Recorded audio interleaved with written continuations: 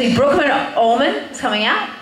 I know where she's at. I can't see anybody up here. It's so dark. There she is, coming out.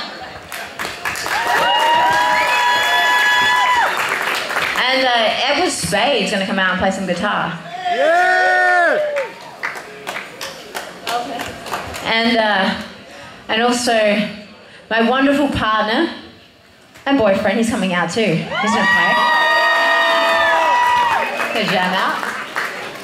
I don't know where everyone is. It's so dark here. I can't even see who's backstage. So I'm hoping they come up behind me here. We're gonna play a cover. There you are. Just pop up here. How you doing? Alrighty. We're gonna jam out some uh, some Stones right now. Have some fun. Hey man, turn the sound up out there, huh? Where's the sound man? Turn that shit up. It ain't loud enough yet.